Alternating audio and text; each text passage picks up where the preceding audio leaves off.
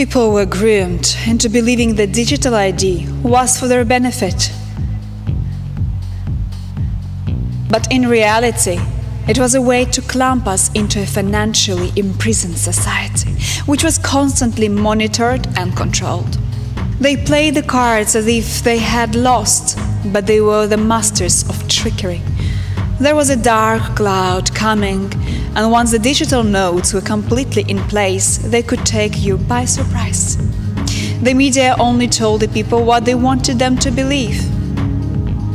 By destroying people's understanding of history, annihilating the truth, and inverting human values, it allowed the majority to become docile sleepwalkers to the real control behind the curtains a control that could only exist with our arrogance, denial, and subservience. There was a constant belief that we only existed to survive, and we are here only to obey the system. When would we stop and listen to the sounds beyond the veil? The more the force pushed, it revealed the level of their fraud, their own insanity. The lies and the deceit they had told was sickening and people were angry. The corruption was so obvious, but people had been led effectively and believed in their leaders. But it was as if they thought we wouldn't notice it. It would go unseen. Were they really that arrogant? Ultimately, it was society that accepted it. So, how could we ever change? Did we need to go to a war? To go through so much suffering again? History went around in loop, and we were the hamsters on the treadmill. They wanted a complete financial collapse so the digital ID could be fully introduced to the world, a peace agreement between all the world countries. But did all countries want that? Erase all currencies, and then just suddenly introduce the digital system to solve the problem?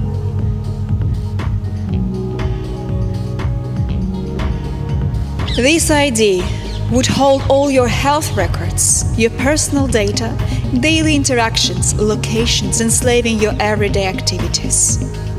A global social credit system wouldn't follow all based around your national credit and how you behaved in society. Corporations would have more power over society and no democracy, giving you little control of your life. Justified by the bombardment of media propaganda and programming telling you the vision. No one had safe ground, even the wealthy would lose their wealth, and then the billionaires would become the sovereign class while the rest of us lived only by our digital IDs. No one would see it until it was switched on. We wouldn't be blinded going to our base needs, scrambling for our own survival. The digital ID was about logging you, regulating, tracking, and monitoring you. We never needed it, but it was only for our safety, of course.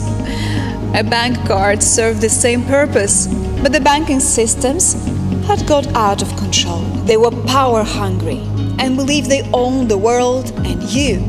Yes, you. They have lived on a high cloud, looking down on the world, not on our level ground, forgetting it is only us, the people, that control the system. We are the operators.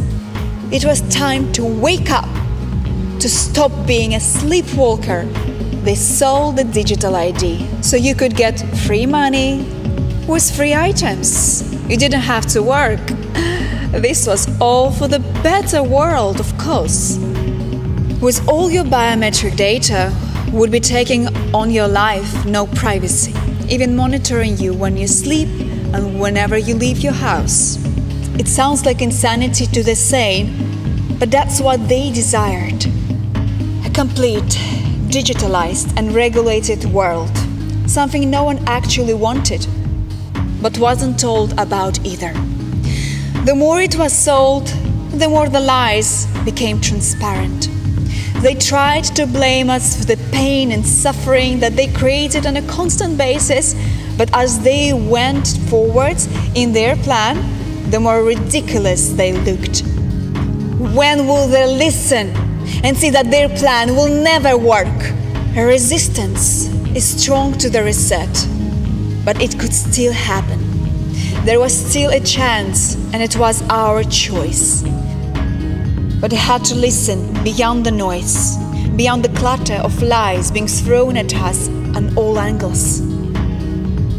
Silence the mind and look within for answers. If the past is erased, then the erasure will be forgotten and the lie becomes the truth.